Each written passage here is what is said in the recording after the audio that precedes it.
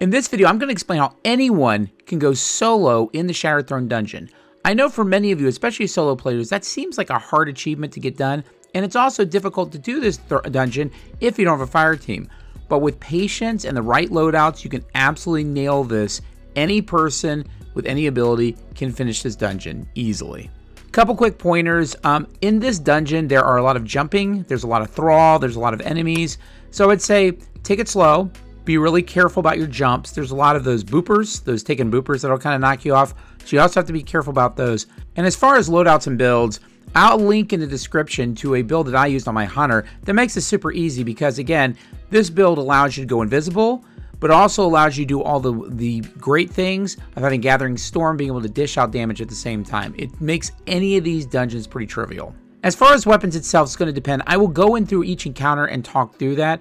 But there, there are a lot of ads. You'll have to think about ad clear and obviously boss DPS, mainly primarily in a couple of encounters in this dungeon. To begin with, you're going to go into a Ascendant Realm and you'll be going down a long bridge.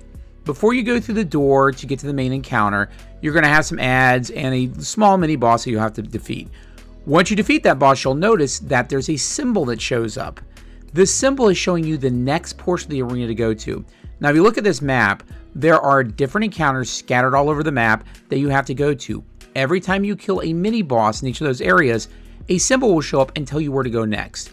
You must defeat each of these bosses in each of these areas, and then it'll bring you back to the main room where you'll find you'll defeat the final boss in this area before you can go through to the rest of the dungeon.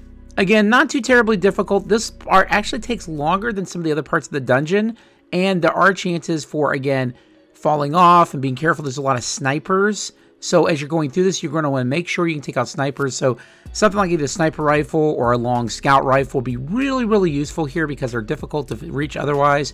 As far as the enemies, as long as you're using a build that does decent ad clear, you should be fine. And then doing something that just burns down a boss. Uh, what I used here is I either used in my runs, I either used Thunderlord or something like Acrius because again, um, I was primarily working on an arc build, but you can use other things. I like machine guns because they do help with ammo economy. Once you complete that, you're going to move around through the, the maze, basically, and you're going to run into an area where you have to basically go down. Once you go down this area, you're going to see a constant run of ads. Now, my recommendation personally is to try to get through this as quickly as possible. Don't worry about killing the snipers and things like that. If you're using my build, use your invincibility, kind of get through the map, and then once you're through the main part of the map, you'll you'll start to go towards an area where there's like a door where you have to go in and face some other enemies. At that door, there are some larger enemies. I would go ahead and take those out because they can mess you up otherwise as you're trying to get in the door. You can also use them to help you become invisible if you'd like to do that.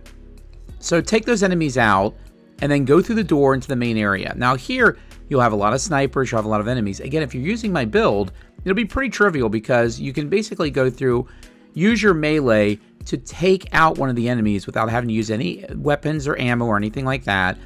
And then you'll be invisible then to go to take the next enemy. So I basically just did that, kept running through this arena. And then when you get towards the back of the arena, you turn left and go up some stairs. And that's where you'll run into the next area. This area will mess you up a little bit if you're not careful. In this next area, you're going to find that you have these sort of almost tight ropey type areas to walk on and be very careful about that. And you'll notice that there will be some larger taken with little boopers that will knock you off. This is where I actually like Thunderlord quite a bit because I can burn them down very quickly because they will have a tendency to go and hide under cover. And if you're not paying careful, they'll come out and they'll knock you off. So do that, and in my opinion, just use your longer range weapons to slowly work those things down. And then you'll notice as you're going forward that there's some areas that have like spinning platforms of black death on them as you go towards them every time, a new set of boopers will show up. When that happens, retreat back further in the arena and just take that stuff out from long range. Now, some people can use swords and go on the left hand side to skip through everything, but that is risky, especially if you're trying to go on a solo run of this. Continue and advance forward, being careful with your jumps. And then towards the end, you'll be you'll have to do basically, depending on if you're Warlock Titan or Hunter, you'll have to do some longer jumps to get across to a platform, and then you'll be done at that point. The next area is going to be the Thrallway, and some of you might recognize this if you used it to kind of farm for XP or farm for other things, or even to, to level up Catalyst or things like this. The one thing about this area is that when you're going through it, you'll be slowed and unable to jump, and you'll be able to you'll move a lot slower. This is a pretty trivial area if you have the right items and weapons and builds like the one I mentioned earlier in the, in the video. You're just going to need things that do ad control. And again, with my build, it's pretty simple. I just use a melee, dodge, get my melee, melee back, and I'm just killing everything. One other reason this area is really useful is that there are no rally flags in this dungeon. It's never been retrofitted for that. So you want to make sure in this area, if you're running low on ammo, this is a perfect place to kill a bunch of thrall and get your ammo back. It's really, really useful for that.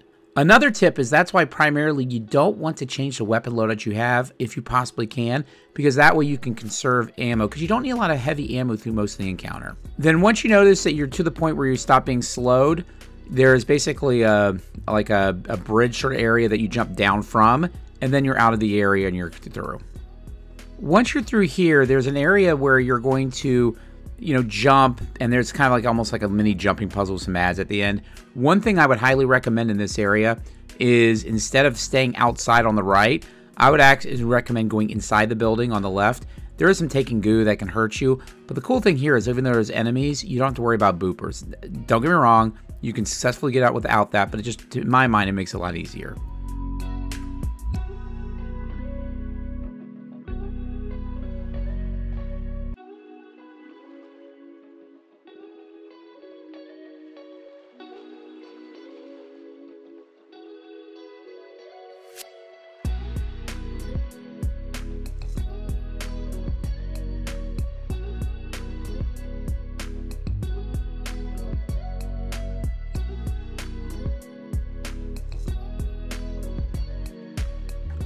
So this next encounter is Vorgeth, once you jump down. And one of the things about Vorgeth that's that's really key is that there's not a ton of cover here. That's why an invisible build, like the one again, and I know I keep reiterating this, like the one I've used, really comes in handy. You don't need it necessarily.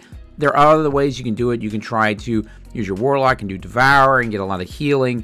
But again, being invisible really helps because if things can't see you, they can't kill you. So the key to this encounter is that there's four wizards with Thrall that you have to kill. And each of those wizards drops a ball that basically, as you, it has a timer on it. As you get each, uh, each of those, it will actually increase the damage that you do to the boss. Now, since there's no cover, going invisible, like I've mentioned before, really makes this trivial.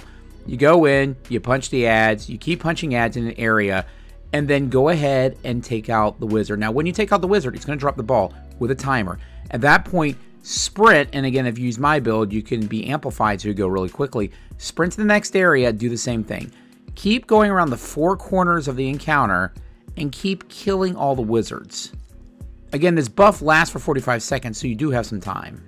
Continue to go around and grab that buff, and again, every time you pick it up, it resets at 45 seconds. Once you have all four, there's a place in the middle room that will allow you to take the immunity shield off, and then you can do damage. Now, again, damage depends on what you want to do.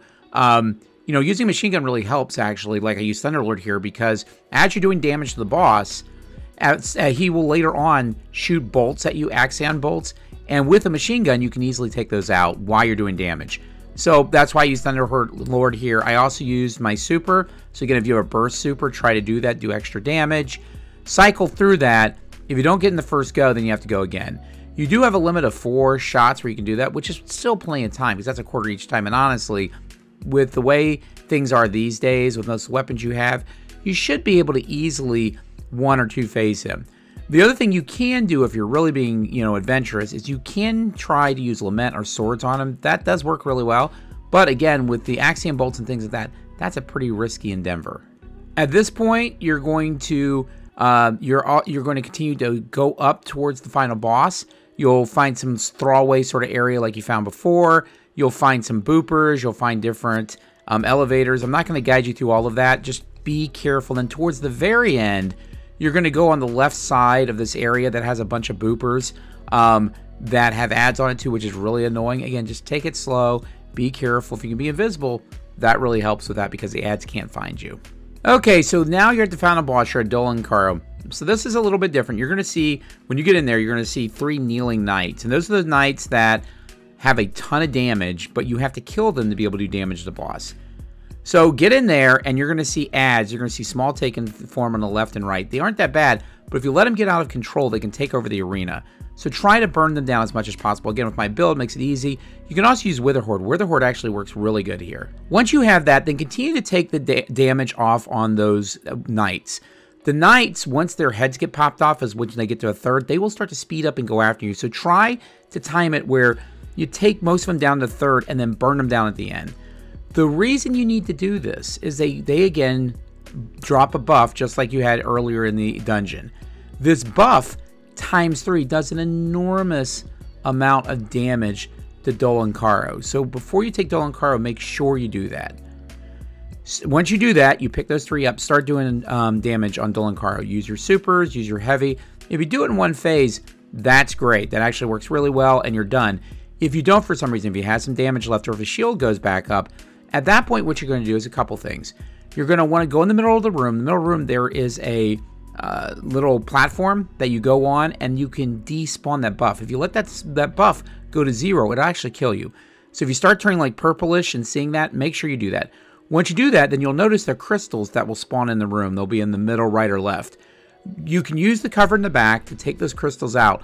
Once you take those crystals out, that will allow you to again do damage. Now, again, depending on what you're doing, you might still have knights up, you might take those out. Some of the ads may respawn, but again, same sort of thing. Kill the ads, kill the knights, get the buffs, and, and take Dul Incaru down. At that point, you don't have the counter, and you finish the Shattered Throne. Again, especially now that we've been power crept a little bit, this is a much more a much easier dungeon than it used to be. And using some of the builds and techniques I talked about, you'll be able to easily finish it solo. I mean, once you get proficient at this, you can probably do this in under an hour. It is not really that hard. So if you're if you're concerned about going in and doing a dungeon, this is actually one of the better ones to try. The only trick with this is you do have to be careful and take it slow in some areas because there are things that will knock you off, but the ads, the bosses really aren't that bad. That's the video. If you like it, feel free to like the video, subscribe my channel, jump my Discord. I'll see you going to the tower.